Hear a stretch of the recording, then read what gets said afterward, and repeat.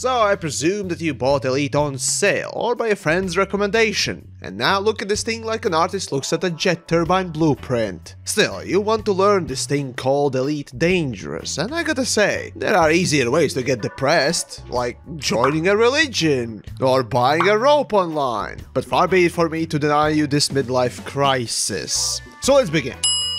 So let's start with the typical stuff, the tutorial. And so the great key mapping adventure can begin. Despite what most games have taught you, without the tutorial here, it's going to be like tossing a toddler into swimming pool's deep end. So, do the tutorial. The current one's actually a really nice one, and it will give you a basic understanding of the game. Well, at least enough not to explode on your first go. Plus, it will give you a ship skin after finishing it. Once done, much like with everything else, you will forget everything that you just learned, repeating your school day behavior, but that's okay. Just choose your name and starting location. Really doesn't matter, nor does the ship loadout, trust me. The ship you get at the start is a piece of shit! Once you're done, you're tossed out in the real world, and as the game tends to promote itself on the PR and media, you're blazing your own trail. But not in the drug related way, more like a doggy butt scooting way. In any case, you get assigned your first mission, and frankly, I recommend doing it. Also, I remember back in the day, for my starting hours, I was aimlessly wandering around and could not find my way back. And for this, I do recommend using bookmarks, trust me. These will help a lot. Also, you can edit their description, so have at it. And here with the first mission, the game guides you to do missions primarily before heading out and doing anything else, and yeah, I agree. If you want to get your relative bearings and earn a little bit of cash for upgrades, do missions. Yet, here we stumble on our first big issue with Elite Dangerous. Not a goddamn thing here is balanced! Missions most of all. If balance in Elite was a real scale, we'd have the most insane trebuchet on our hands. You may get a mission that is low paying and super easy to do, like the one you got assigned right away, or you can get a mission that is impossible to do and still pays low. Then you may get a mission that pays okay and is almost as easy to do as the first one. Basically, if you think that Elite is like a normal game where the riskier the mission, the more reward you'll get, nope. In Elite, that's as true as Ubisoft's apologies for workplace harassments. To spare you the time, on screen I put four categories of missions. Ones that are simple and good, decent ones that pay but you know you need a better ship, overly complicated ones that are plain wasting your time, or the devil's crotch spawn unbalanced. As you can see, the data courier missions are the easiest ones, and good for pay, but not greatest paying ones. Still, it's the best to go for for now until you get to a better ship, so you can advance to doing trade or passenger missions, which frankly are the same, except the passenger missions have this cargo that will complain that you're flying too slowly or too bumpy, and unlike actual cargo, you can't jettison any of it out the airlock right away. Also notice that any combat mission is bad, like really bad bad. And that sets the tone for the game. There is no risk versus reward. What Elite developers did with combat was take it behind the barn, strip it and douse it in gasoline and lit it. In fact, combat, including the ship and skill required, is the worst paying job and activity in Elite. I'm not kidding. It's unbalanced, low paying, and sometimes doesn't even show appropriate difficulty for its job, especially for assassination missions, that are such a crapshoot that you'd be better off winning a lottery than get your experience level appropriate enemies. And sure, it's not the absolute lowest paying job, but it's second or third? Yes, exploration at its best can be way better than this. And how sad is that? So, for the sake of your own sanity, just do trade and passenger missions. That's about it. Now, making credits is not mandatory, but then again, having somewhere to live in the real world is not either, yet somehow we look down on that. Regardless, in Elite the main focus and the way to obtain new gear is through credits, and thus you have to do it like it or not. However, you can ignore everything in Elite Dangerous except for a few key features that actually make you money. For Mission Board I already explained what you should focus on and what is the absolute garbage and a waste of time. As for the open world money making, mining, well, as is currently mining is very lucrative, but you need to know how to do it. In fact, I have made videos about how to do it, so go check those out later. But there's one other thing that comes to my mind, something that I constantly use when I do speed runs.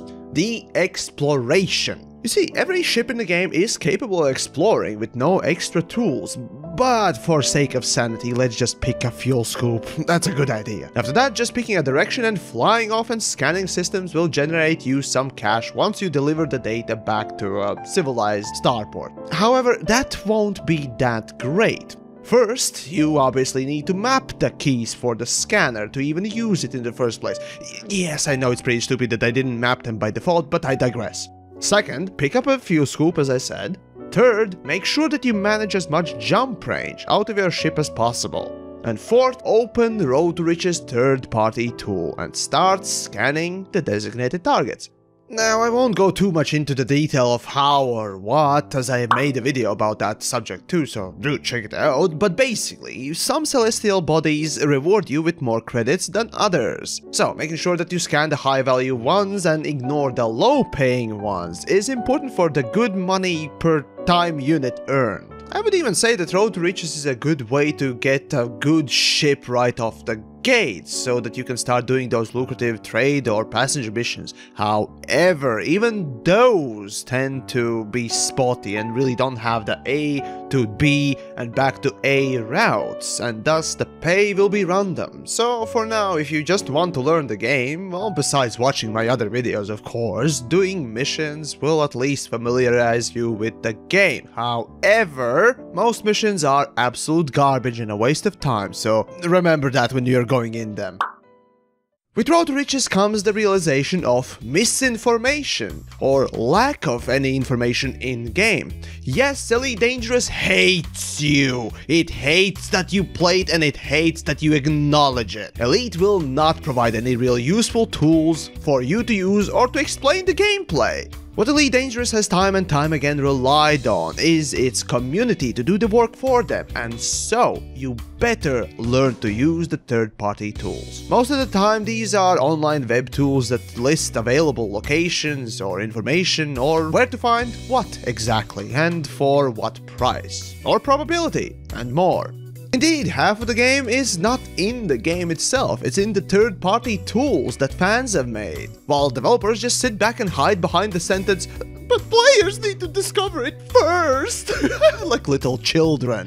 Regardless, even the simple task of non-mission trading is far better when using these tools. And if you ever wondered, what is the difference between the third-party tools and the in-game tools? Well, let's take trading for example. The in-game tools provide prices of commodities in a short range around your current location. However, using something like Elite Database, you're able to search the whole galaxy for the best price to sell and buy a commodity. So who would you choose? A paltry tool that searches in a confusing manner stuff that is only near you or the whole galaxy. And the same goes with exploration too, as I mentioned with the Road to Riches. While at it, you probably should get familiar with the wiki of the game too. While somewhat outdated in places, it's still far more descriptive tool than anything in the game. And there you have it for now. Make sure that you don't pick bad missions, maybe do a little bit of sightseeing, and definitely make sure not to waste your time with combat.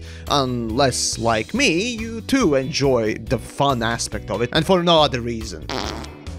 Oh, and for the things to completely avoid. Power play is space politics and nothing ever ends there. Nothing matters and in fact the only thing that you care for or should even care for is the module. And even that you only can acquire after 4 weeks of real time after pledging. So maybe just pledge and just wait those 4 weeks but that's it. And the other one is engineering. Yeah, upgrades are nice and all, I agree, but first please get the grips of the game before getting into another grind loop. As for the factions, any faction that you encounter do not matter. In fact, Elite Dangerous is the ultimate nihilist's dream.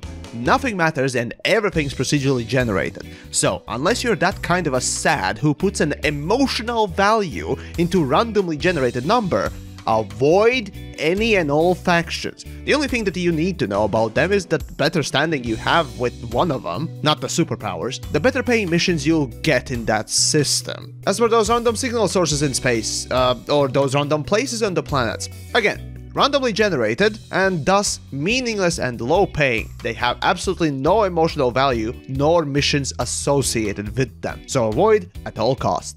Now come to think of it, after all that, I think the ultimate beginner advice is this. Avoid everything in Elite unless it's trading, mining, exploration, and passenger missions. Oh gods, is that what Elite has become? Oh gods, I think I'm gonna go order a rope online now. Oh, but before that, if you enjoyed the video, do subscribe and all that stuff, and do share the video for the newcomers of the game, and of course, if you want to support the content a little bit more, I'm always happy to see new patrons, a link in the description. Oh, right, and there's also a free Anaconda in Hutton Orbital, by the way.